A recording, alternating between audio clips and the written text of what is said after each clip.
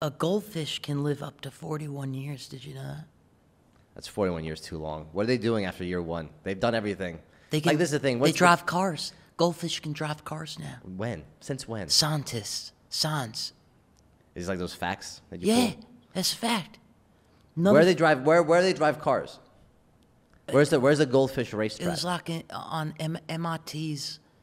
Maybe it wasn't MIT, but it was. It it wasn't It was in a parking lot.